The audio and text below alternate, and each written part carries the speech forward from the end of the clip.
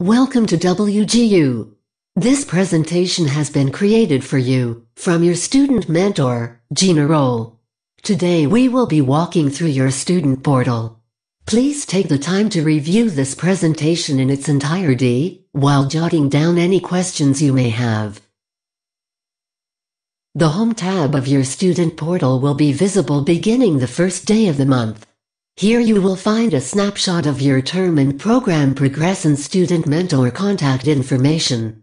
You can also keep organized by adding events or appointments to your schedule, keeping a list of action items, and viewing recent email and news items from the university. The right-hand corner also provides you with access to your program communities.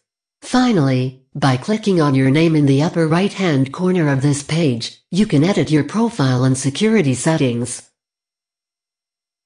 Let's begin navigating in reverse order through your student portal, beginning with the last tab, which is the Student Support tab. The first option you will see in the Student Support tab is information pertaining to student services and records. Here you can perform actions such as request a student identification card, obtain an official or unofficial transcript, receive proof of enrollment, or order additional student success kit items. Continuing to the IT Service Desk area of your Student Support tab, here you will find contact information and support services for our IT desk.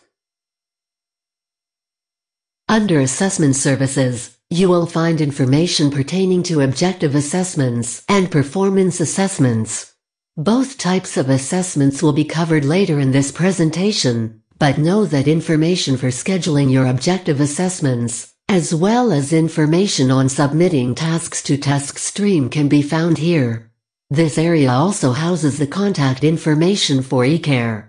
eCare can assist in answering student questions after a task has been evaluated, such as when clarification is needed on task revisions. Now, on to the Financial Services area of your Student Support tab.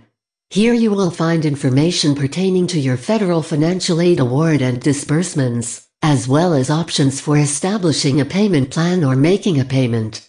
Contact information for our financial aid team can also be found here.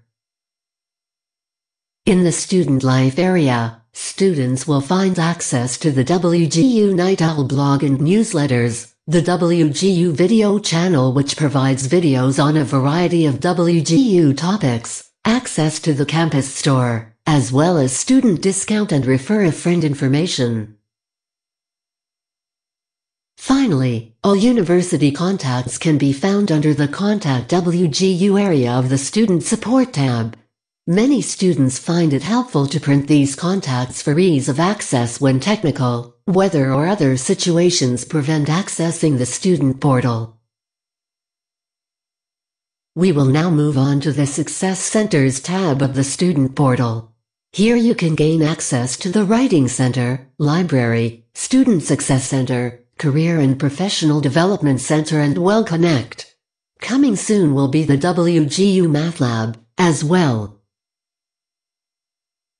Moving on to the Degree Plan tab of the Student Portal. Here, students will find all of the courses that comprise their degree program. You are welcome to create new plans here, as well, to help you see how many courses would be needed each term to finish the program in less than two years. Keep in mind, however, that all courses do need to be completed in order. Many courses build on concepts from previous courses. Additionally, Focusing on the completion of each course on time helps ensure you graduate on time. Students are able to access every course within their program, at any time, whether or not they are enrolled in the course. Take some time to review all of the courses in your program. You will see that some courses have a P icon, which means it is a performance-based assessment. Other courses will have an O, which means those are objective-based assessments.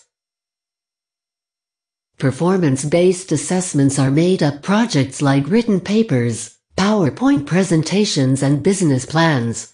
These projects are submitted to TaskStream for evaluation. When a task is evaluated, every prompt within that task needs to pass. Students have up to four opportunities to pass each task. Note that these task submissions are considered to be high stakes and should represent the highest quality of work. Students are strongly encouraged to use the Turnitin process in TaskStream before submitting tasks for evaluation. Additionally, students are encouraged to utilize the Center for Writing Excellence for a review of articulation and formatting. Either one of these concerns can slow down the evaluation process. Objective-based assessments consist of multiple choice exams.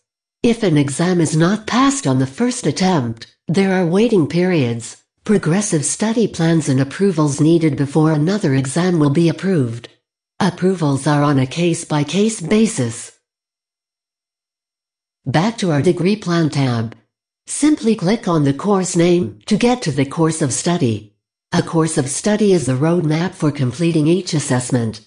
Note that once term registration has been completed with your student mentor, Courses for the current term will be accessible in the Courses tab of the Student Portal. The course of study contains all of the learning resources and materials needed to complete an assessment. Note that there are three tabs at the top of your course of study. You will be working in the Course Material tab. You may progress through the course of study by clicking on the next button at the bottom of each page, or by using the study plan navigation on the left side of the course of study. The study plan navigation serves as a table of contents, if you will, for all the topics of the course. On the right side of your course of study will be your course mentor contact information. It is highly recommended that students call or email their course mentor when beginning any new course. Course mentors can provide tips, resources and helpful advice that is often unavailable to students who do not reach out.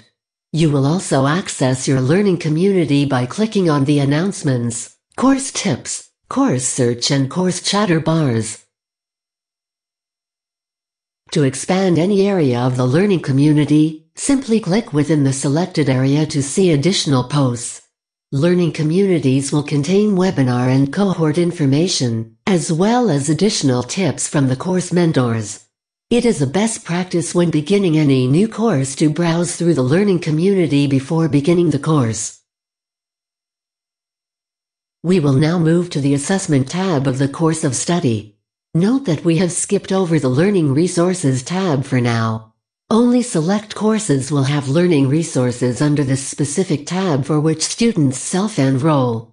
Often, your student mentor will take care of all learning resources enrollments in the Learning Resources tab, but students are welcome to do so when beginning each new course, as well. This assessment tab provides access for viewing task instructions and rubrics when looking at performance-based assessments.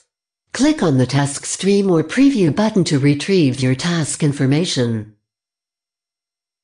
After clicking on the TaskStream or Preview button, you will be directed to TaskStream. If you are enrolled in a course, you will be able to click on task links on the left side of this screen to upload your task submissions. If you are not yet enrolled in the course, you can see task instructions by clicking on the name of the course indicated by the arrow on the left side of your screen. Remember, you can preview task instructions for any performance-based course in your program using this same process. To access your task instructions, click on the directions link. Evaluators will use a rubric when evaluating each task. To view this rubric, Click on the Evaluation Method link, and then the View Rubric link. The instructions for Task 1 of Managing Organizations and Leading People are shown here. Now that you have the rubric, I suggest using the prompts on the left side of the rubric, which are the competencies the evaluators will be using to evaluate the paper, as body headings for your paper. For instances, you would create an outline for task 1 that begins with description of the organization, followed by leadership practices. This way, your paper flows fluidly with the rubric. Additionally, you create an instant outline for yourself and can ensure you are covering each element of the paper. Remember to cite all sources, both in text and within a reference page. No more than 30% of your performance task can come from outside sources. This is what an objective assessment course will look like under the Assessment tab. You will see a Take Now button when you have access to take a pre-assessment or exam, or a Request Approval button when you would like mentor approval for a pre-assessment or exam. When requesting approval, please also email your student mentor as I do not see these requests unless notified. The cut score is the minimum passing score. This score is not based on the common grading scale. WGU uses the modified Angoff method for determining cut scores, where the score is determined by many variables, including the difficulty level of each question and the number of possible answers per question.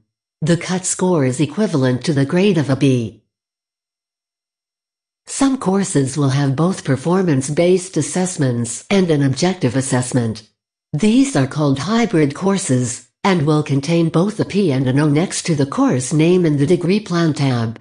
As with all courses, it is critical to stay true to the start and end dates of these hybrid courses to ensure completion by term end.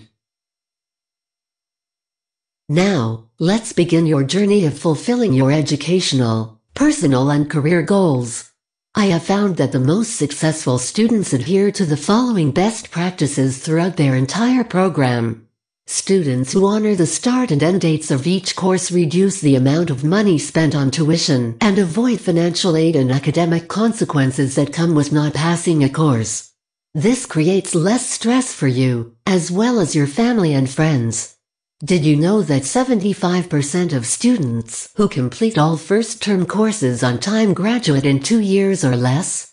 So, begin working immediately, and work intently toward daily and weekly goals. Work with course mentors right away when starting a course, and engage thoroughly with all learning resources and within the learning community. Participate in course webinars and cohorts, as well as student success webinars on a regular basis. I look forward to working with you throughout this journey. You have the power to do great.